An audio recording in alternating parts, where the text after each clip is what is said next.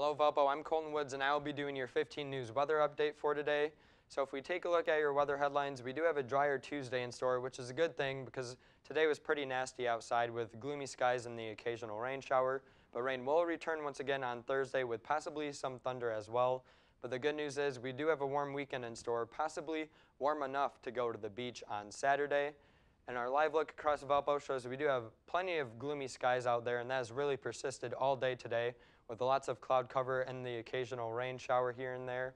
And that will just continue throughout the next several days because we're stuck in a weather pattern where we'll see lots of cloud cover and also some rain showers.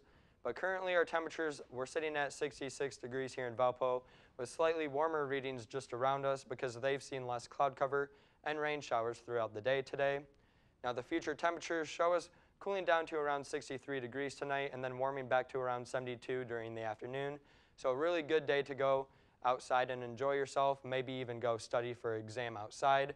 And then as we get into Wednesday morning, same story, just around 60 degrees for a low. And then this model shows us only warming into the mid 60s on Wednesday, but I think we'll actually warm well into the 70s. And another thing to note is the dew points. This is actually pretty high for early October. We're at 62 degrees for a dew point, which is fairly humid. And regionally around us, we are also pretty humid as well. And that humidity will just continue throughout the day and also throughout the next week as well. So it looks like summer isn't done just quite yet. And our future radar shows lots of cloud cover across the region.